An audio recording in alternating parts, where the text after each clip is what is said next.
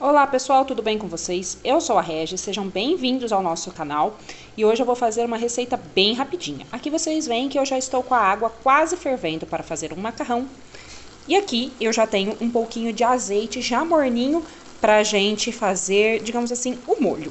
Então bora lá? No nosso azeite eu acabei de colocar meia cebola para dourar. Um desabafo, eu achei que essa receita não saía hoje. Bom, Agora que a nossa cebola já está dourada, eu vou vir com um tomate picadinho. Vou deixar o nosso tomate murchar e já vou colocando uma pitadinha de sal. Não vou pôr muito, porque eu vou colocar mais ingredientes salgados na receita. Agora eu vou colocar já uma colher de orégano, uma colher de manjericão. Agora aqui na nossa panela eu vou colocar 250 gramas de macarrão cabelinho de anjo e vou deixar é, dois minutinhos cozinhando.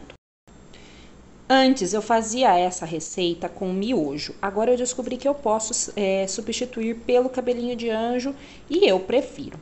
E particularmente é, a base dessa receita, que é um macarrão com creme de leite, a primeira vez que eu fiz foi quando é, eu casei. Eu tive um imprevisto, fiquei sem geladeira um mês e aí o que, que eu podia cozinhar? Nada, tinha que comer fora. Então a primeira comida que eu fiz em casa foi essa. Terminados os dois minutinhos do cozimento, eu vou colocar o nosso macarrão escorrer e colocar ele nesse nosso tempero aqui. E junto com esse macarrão, eu vou colocar uma concha da água do cozimento.